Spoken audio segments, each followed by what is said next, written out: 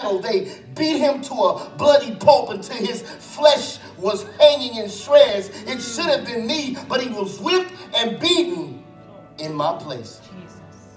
Then the soldiers of the governor took Jesus into the governor's headquarters and they gathered the whole battalion before them and they stripped him and put a scarlet robe on him and twisting together a crown of thorns, they put it on his head and put a reed in his hand and kneeling before him, they mocked him saying, Hail, King of the Jews and they spit on him and took the reed and struck him on the head. And when they had mocked him, they stripped him of the robe and put his own clothes back on him and led him away to crucify him. It, it, it should have been me, but he was mocked and humiliated in my place. They placed a crossbeam on his shoulder that weighed as much as a hundred pounds, and because of the brutal beating he had took them, his flesh hanging and the blood loss, he, he needed help to carry it because he couldn't do it on his own. I should have been the one carrying the cross, but he carried the cross yes. in my place. Yes. And when it came to a place called Golgotha, which means place of the skull, they laid him on the cross and they drove six to eight inch nails into each of his hands and his feet. I was supposed to be nailed to the cross, but he was nailed to the cross in my place.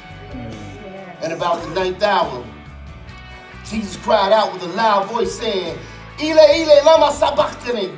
That is, my God, my God, why hast thou forsaken me?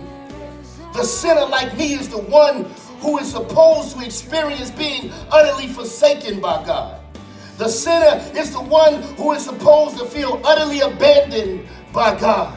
Ezekiel 18 and 20 says that the soul that sinneth, it shall surely die.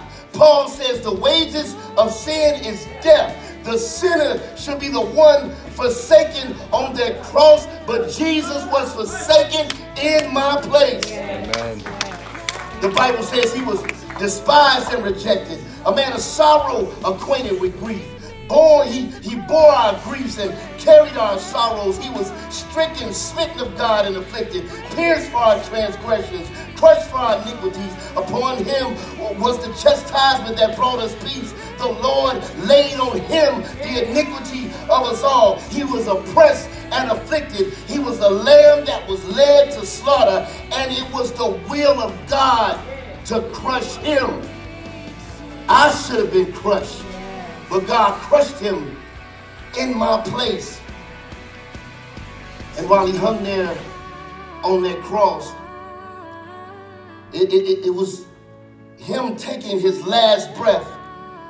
And he said these words, it is finished. He hung his head and he gave up his spirit. It should have been me. It should have been you. It should have been you.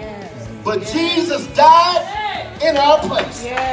We were all bad guys, deserving death, the grave, and eternal punishment in hell. But Jesus died in our place.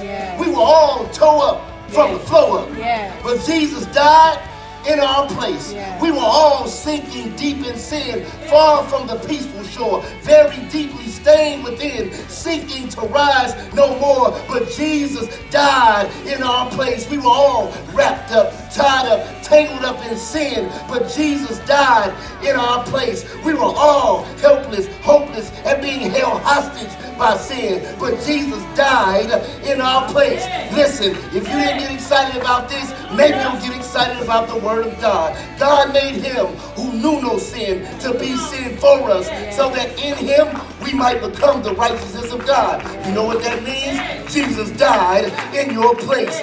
He himself bore our sins in his body on the tree that we might die to sins and live for righteousness because by his wounds we have been healed. Yes. Jesus died in our place. Yes, thank you, Lord. It is. Thank you, Lord. It is this truth that led Isaac Watts in 1707 to write the words of that great hymn that testifies, Alas, and did my Savior bleed, and did my sovereign die? Would he devote that sacred head for sinners such as I? Was it for crimes that I had done? He died upon that tree. Amazing pity, grace unknown, and love beyond degree. At the cross, at the cross where I first saw the light and the burden of my heart rolled away. It was there by faith I received my sight, and now I am happy all the day.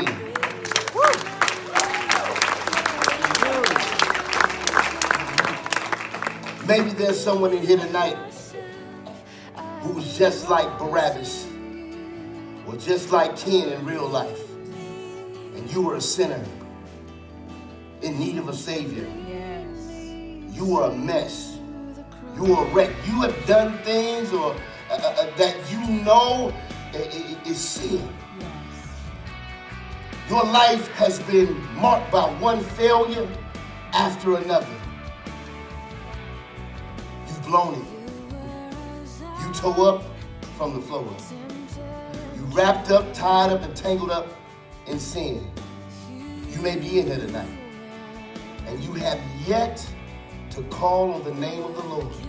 The Bible says, Whosoever shall call upon the name of the Lord shall be saved Yes. Yes. from the penalty of death, hell, and the grave. Yes. Jesus died in your place. You don't have to die in your sins. Jesus came to rescue you. Lead me to the cross.